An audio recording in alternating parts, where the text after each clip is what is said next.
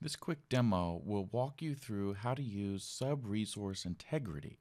Sub-resource integrity is used when we're going to make a request and pull in resources from an external party into our site. This is common when we're doing things like jQuery and these other third-party kind of add-ins that we bring in. And so I have a simple page here, demo.html, and you can see in here that I have a script resource going out and pulling in a JavaScript file. Now this JavaScript file doesn't do a whole lot. Uh, we can actually go take a look at it over here.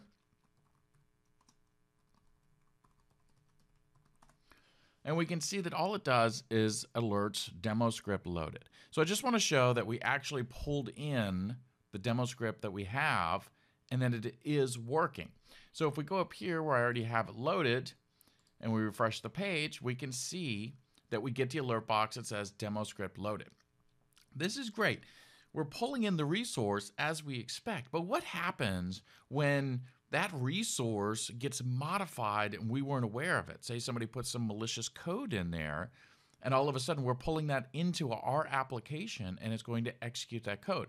We'd have no way of doing that. So if we were to modify the script over here, we would run into problems because it would just run in the context of our application.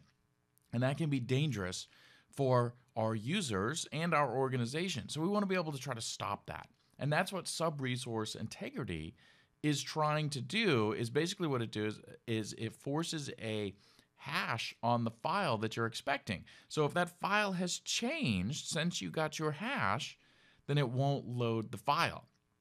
So let's see a couple ways of how we can actually create the hash that's going in there. Now I'm using, this is local on here, I'm actually using uh, the Linux subsystem on my Windows machine. And so I'm using bash here to be able to run OpenSSL commands. And I'm already in the directory. Uh, I've gone out and copied that JavaScript file that we see that we're referencing right here, demoscript.js. I've copied that local. Now that I have it local, I can go ahead and run some commands to actually create the hash of that file. So here we're going to do, we're going to use OpenG, OpenSSL, and we're going to do uh, a SHA-384 digest of it, right? The hash. We're going to do it as binary. And then we specify the files that we have. So demo script 1.js. And then we're going to take that hash and we're going to pipe it into OpenSSL again. This time we're going to base 64 that value so that way we can actually use it since it came down binary hash. And then when we hit enter, we'll see that we get this hash value up here. Okay, so this is the hash value that we're going to use in our script tag. So let me show you what that would actually look like. I'm going to go ahead and already got this played out, but you can see we add an integrity attribute. I put what type of hash I did, the SHA-384, and then we paste in that hash value, and then we add in a cross origin equals anonymous. Um, because when we're dealing with sub-resource integrity, we're going to look at CORS. Uh, so we want to make sure that we set this to anonymous. So let's just grab this and we'll paste it back in our demo and we'll just replace the current script tag that we have with the new one. Now, if we run this, we shouldn't notice any difference unless that file's changed, but it hasn't. So if we come over here and we'll run it again, we can see demo script loaded. Everything is fine. It works as expected. But what happens when we come over here and let me get out of that file and we'll update it. All right, so this time, let's go ahead and say instead of alert demo, let's do demo one. This is just a simple change, but it will help identify that when we make this modification, the resource will no longer load. So we'll go ahead and change this. We'll save that file. So now we're demo one instead of demo. So now let's reload this page and see what happens.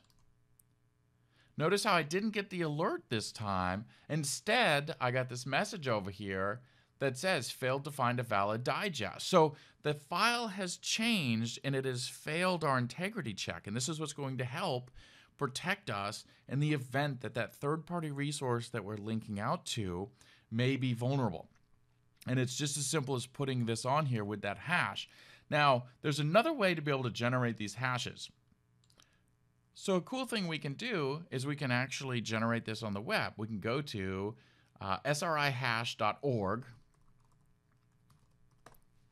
And with this, we can actually take our URL. So we have our URL already embedded because we're using it. We copy that URL, we paste it into the generator, and we just hit hash. And this actually generates that script for us. Now, notice that the hash SHA-384-IXD, whereas we had ZMS over here. The reason for that is, is because this grabbed the hash of the latest file, which is the one that said demo1 instead of demo.